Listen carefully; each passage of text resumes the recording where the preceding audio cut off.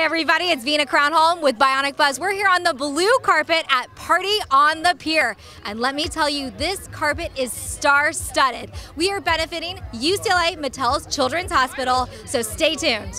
What's up? How are you? I'm good. How are you? What brings you to Party on the Pier today? Well, I mean, everything. I, I, I just want to be here, you know, to, to have a good time, uh, make some kids smile. And I mean, I'm, I'm just happy to be part of an event that helps out with the uh, Children's Hospital. I love that. So you're pretty much my child's hero. You're on Diary of a Wimpy Kid. What was that like? Uh, that was insane. I mean, it was my first role where I was the main, so I mean, it was nonstop. But I mean, it was such a fun role to play because he's such an iconic children's character, and he gets into so much mischief. It was just so much fun to play Greg. I love that. So, did you read the book first, or did you get the script first?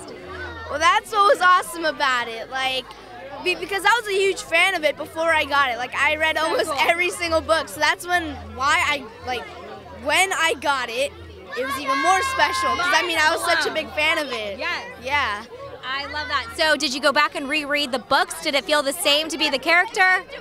Well, I mean, I had already read the book, so I mean, I knew what his character was all about. I just uh, rewatched a few of the movies to get a bit of a clear understanding of like how he thinks. But then once I got on the set, just being in his shoes and being surrounded by all the things that he would be surrounded, just helped me being put like into his character. That is so cool. So you were also in Transformers. What was that like?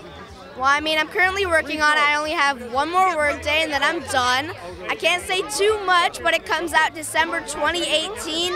So when it comes out, it is a must see. Was it a dream come true to work on it? Oh, totally. I mean, like, I grew up with the toys. I had all the toys. I watched, like, the animated shows and all that. And I mean, it's just such a cool project. Like, so much CGI and so much blue screen, like, green screen. It was something so new, so it was just so much fun. I love that. Well, we want to keep following you on social. Where can we do that? Jason Drucker for Instagram and Drucker underscore Jason for Twitter. I love it. Go enjoy Party on the Pier. All right. Thank you. You too.